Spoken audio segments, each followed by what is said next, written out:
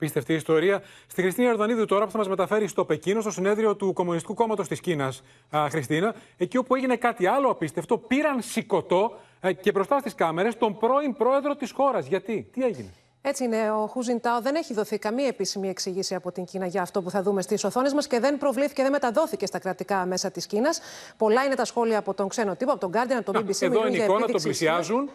Τον παίρνουν λοιπόν τον Χουζιντάο και σχεδόν... δίπλα στο Σιτζιπίνγκ το, κάθεται ακριβώς δίπλα στον νυν πρόεδρο και τον, ουσιαστικά τον απομακρύνουν σχεδόν δια της βίας. Τραβάνε την καρέκλα κάποια στιγμή.